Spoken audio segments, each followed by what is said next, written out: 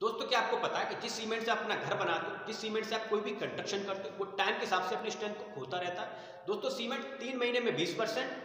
छः महीने में तीस परसेंट बारह महीने में चालीस परसेंट और दो साल में मतलब चौबीस महीने में पचास परसेंट मतलब अपनी आधी परसेंट स्ट्रेंथ को खो चुका होता है दोस्तों आप सीमेंट परचेज करें तो फ्रेश सीमेंट ही परचेज करें जिससे आपकी स्ट्रेंथ प्रॉपर आ सके दोस्तों सीमेंट के बारे में कैसा लगा सकता